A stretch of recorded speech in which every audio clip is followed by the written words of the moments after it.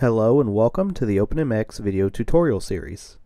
In this video, we will be discussing part 2 of modeling latent growth curves with OpenMX.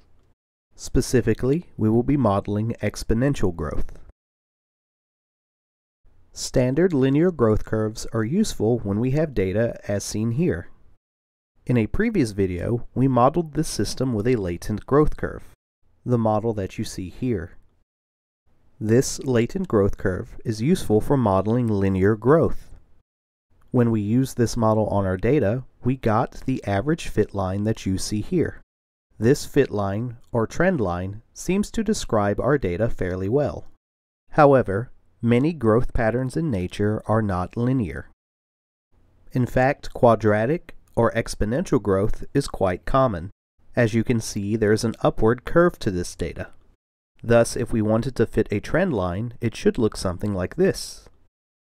As you can see, the trend line also curves upward along with the data.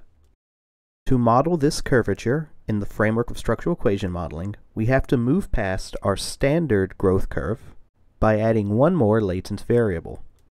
This new latent variable, which we will call c for curve, introduces a quadratic or exponential term to the model.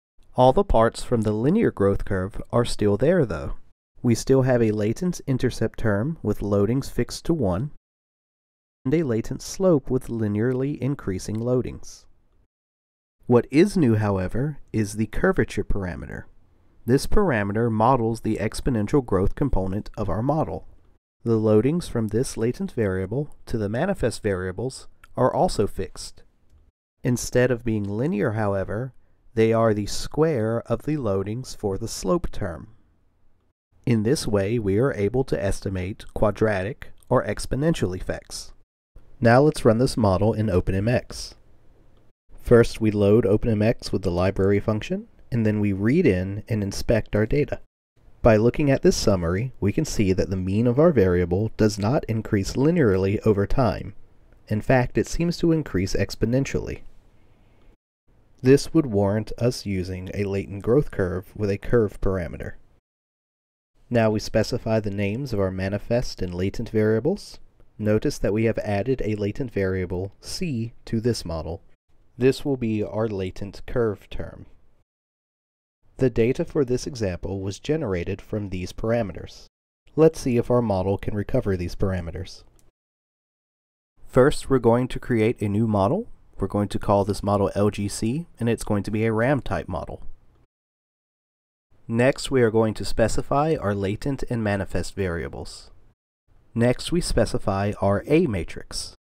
Just like in the previous video, each value of this matrix is fixed. Also compared to the last video, we have a new column representing our C latent variable. The loadings from this curvature latent variable are the square of the loadings of the slope latent variable. Next, we specify the S matrix. This includes our error variances, latent variances, and latent covariances. Notice that I have fixed the error variances of the manifest variables to be equal. This is a common method used in latent growth curve modeling.